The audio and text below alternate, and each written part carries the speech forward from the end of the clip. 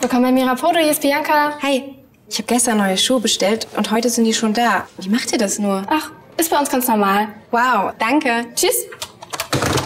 Und jetzt? Gleich ruft Gerd an und bestellt grüne Sneakers. Na, schick schon los. Mirapodo, deine Schuhe sind unsere Welt.